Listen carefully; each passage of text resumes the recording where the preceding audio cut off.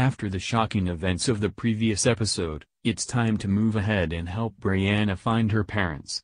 Is that going to happen in Outlander Season 4, Episode 9?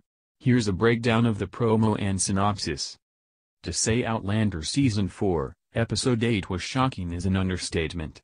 It's one of the hardest episodes to watch in a long time. However, we're already moving forward. It's time to help Brianna find her parents and that could happen in Episode 9, titled The Birds and the Bees. It's certainly possible since everyone was in Wilmington in the last episode. Oh, if only Claire and Brianna knew how close they were to each other. Claire wouldn't be overly happy but at the same time, she'd be ecstatic to have her daughter back. Before jumping into the breakdown, here's the trailer and promo. There are some spoilery teases moving forward if you haven't watched the last episode. I'm not going to spoil anything from the books for those who haven't read them. Brianna's search for her parents finally comes to an end. The family returns to Fraser's Ridge, where Jamie tries to bond with his newfound daughter. Meanwhile, Brianna struggles to suppress dark memories of the traumatic event that transpired in Wilmington, but Brianna's efforts to conceal her pain do not go unnoticed by Claire. Ready to break them both down? Let's get into what we might be able to expect. 5. Roger's duties aren't over yet. After the events of the last episode, it's not surprising to find out that Roger may be on his way back to his own time. He'll likely be looking for passage to Scotland, but Stephen Bonnet has other intentions. He wants Roger back on his ship. It looks like Bonnet has decided that Roger's duties as one of the crew members aren't over. After all, I don't think Wilmington was the last port. What could that mean for Roger in the current time period? 4.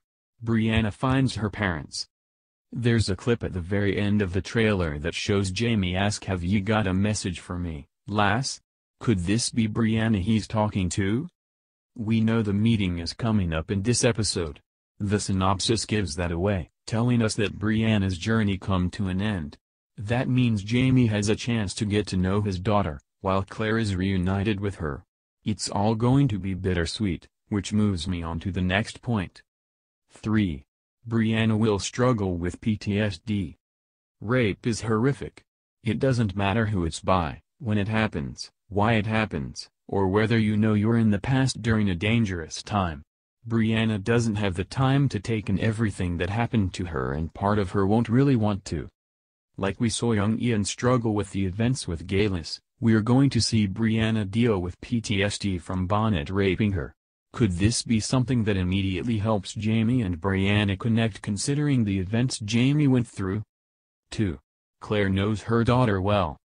Brianna will attempt to hide the pain of everything that happened. Not only will she now want to share what happened with Roger, she also won't want to tell her parents that she was raped by Bonnet. Even though it shouldn't, rape is something that brings shame. However, Claire knows her daughter well. The synopsis tells us that Brianna can't hide the truth from her mother. How much will Brianna tell Claire, though? Will she tell her about Roger and Bonnet? Judging by the title, Brianna may realize something that means she has to be completely honest. 1. Lizzie wants to help Brianna. Throughout the trailer, Lizzie wants Brianna to slow down.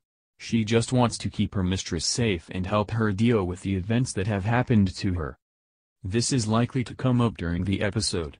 After all, Lizzie is going to head to Fraser's Ridge with everyone else since she's Brianna's servant. I'm intrigued at how Claire and Jamie will react to that.